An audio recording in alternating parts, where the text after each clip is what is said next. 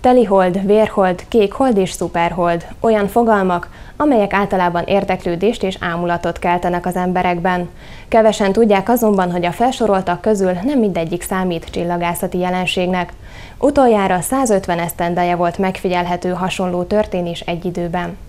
Január 31-éről február 1-ére virradó éjszaka a hozzáértők a Föld több pontján is különböző égi jelenségek szemtanúi lehettek, amelyek hazánkban a borult égbolt miatt nem voltak megfigyelhetők. Kisel László, a Magyar Tudományos Akadémia Csillagászati és Földtudományi Központjának főigazgató helyettese a jelenségek sajátosságairól beszélt.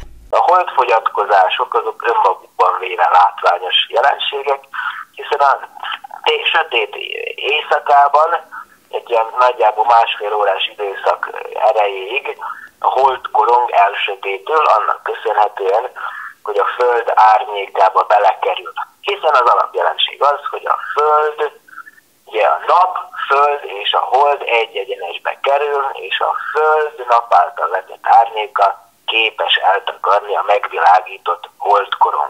Kisel László emellett felhívta a figyelmet arra a tévhitre is, amely alapján a kékholdat sokan jelenségként értelmezik. Ez azonban valójában nem más, csak egy naptár számítási különlegesség, ami az angol száz területen elterjedt, nagyon ritkán bekövetkezendő eseményekre utaló once in a blue moon kifejezésből származik. Januárban egy naptári hónapon belül kétszer volt hold, ami mindössze két-három évente fordul elő, és következményeként februárban nem lesz holtölte. Szintén angol száz területről ered, hogy a hold elsötétülését vérholdnak nevezzük, azonban csillagászati szempontból ez a kifejezés szintén nem helytálló.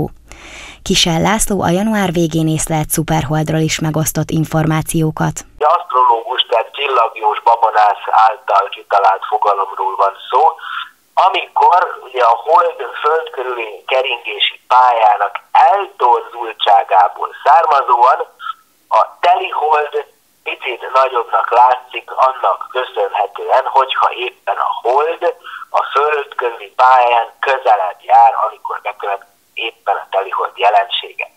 Ugye arról van szó, hogy a föld körül a hold pályája nem pontosan kör alakú, hanem elnyúlt ellipszis, emiatt aztán a teliholdnak az állapota, amikor ugye a hold szemben áll a nappal, néha közelebb, néha távolabb következik be. Ennek azonban a, a, a valódi hatása az olyan nagyjából 10%-os.